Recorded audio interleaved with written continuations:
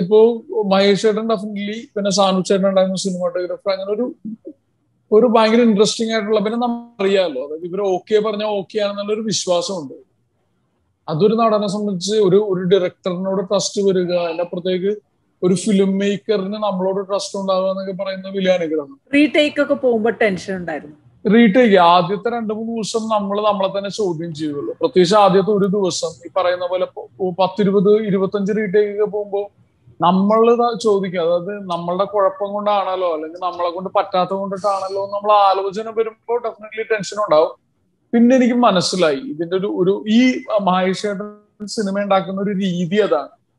ഇപ്പൊ സൗത്ത് ഇന്ത്യയിലെ തന്നെ ഏറ്റവും മികച്ച എഡിറ്റേഴ്സിൽ ഒരാൾ ഒരു ഷോട്ട് എടുക്കുമ്പോൾ ആ ഷോട്ടിൽ മറ്റേ പറയുന്ന പോലെ അത് ഒരു വെൽ എഡിറ്റഡ് ഷോട്ട് ആയിരിക്കും.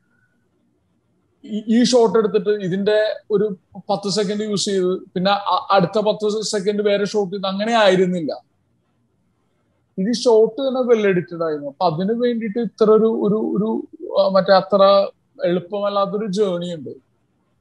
ഇപ്പൊ നമ്മൾ ശരിയാക്കുമ്പോൾ നമ്മുടെ കൂടെയുള്ള ആളുകൾ ശരിയാക്കും. നമ്മുടെ കൂടെയുള്ള ആളുകൾ ശരിയാക്കുമ്പോൾ ക്രൗഡിലുള്ള ഏതെങ്കിലും ജൂനിയർ ആർട്ടിസ്റ്റ് തെറ്റിക്കും ചിലപ്പോൾ ക്യാമറയുടെ ഫോക്കസ് പോകും. അങ്ങനെ ഒരുപാട് ഇതുണ്ടല്ലോ. ഒരുപാട് യെസ് ആ, ഇപ്പൊ വേറെ നമ്മുടെ കണ്ടംപററീസിനൊപ്പം അല്ലെങ്കിൽ നമ്മൾ പുതിയ സംവിധായകരൊക്കെ ഒപ്പം വർക്ക് ചെയ്യുമ്പോൾ അവർ പറയും ഇങ്ങനൊരു ഷോട്ട് ഇങ്ങനൊരു ഷോട്ട് ഇങ്ങനൊരു ഷോട്ട് മുകളിൽ നിന്നൊരു ഷോട്ട് എന്നൊക്കെ പറഞ്ഞ് ഒരുപാട് ഷോട്ടുകൾ എടുത്തിട്ട് അവസാനം എഡിറ്റിംഗ് ടേബിളിൽ കൊണ്ടുപോയിട്ട് ആലോചിക്കുന്ന ഒരു അവസ്ഥയാണ്. അപ്പൊ അത് ഈ സിനിമക്ക് ഉണ്ടായിരുന്നില്ല.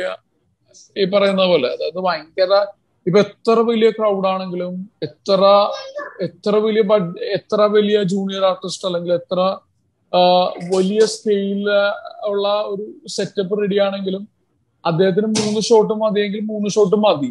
നാലാമതൊരു ഷോട്ട് ഉണ്ടാവില്ല. അത്രയ്ക്ക് ക്ലാരിറ്റി ആയിരുന്നു. അത്രയ്ക്ക് പ്രിസൈസ് ആയിരുന്നു.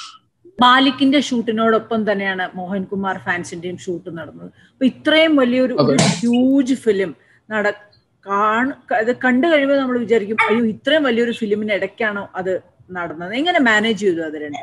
മോഹൻകുമാർ ഫാൻസ് നമ്മുടെ ഒരു അടുത്ത സുഹൃത്തിന്റെ സിനിമയാണ്. പിന്നെ ആ. കഥാപാത്രത്തിനെ സംബന്ധിച്ച് എനിക്ക് ആ ഭയങ്കര ഈസി ആയിരുന്നു ചെയ്യാൻ വേണ്ടിയിട്ട്. അത് ഈ പറയുന്ന പോലെ നമ്മൾക്ക് നമ്മൾ നമ്മുടെ ചുറ്റുപാടും കാണുന്ന ആളുകളെ അല്ലെങ്കിൽ എനിക്ക് ഞാൻ എന്റെ ഒരു ഒബ്സർവേഷൻ ഭയങ്കര സ്ട്രോങ് ആയിരുന്നു. അപ്പൊ അത് കൊണ്ടിട്ട് ഈ പറയുന്ന പോലെ ഇപ്പൊ ഡേവിഡിന്റെ പോലെയുള്ള ഒരു ഡേവിഡിന്റെ ഹിസ്റ്ററി ഡേവിഡിന്റെ അല്ലെങ്കിൽ അങ്ങനെ ഒരു ഒരു ഡീറ്റെയിൽഡ് ആയിട്ടുള്ള പ്രോസസ് ആയിരുന്നില്ല. ഞാൻ മുഴുവൻ ജിസ്മോനെ ഏൽപ്പിച്ചു.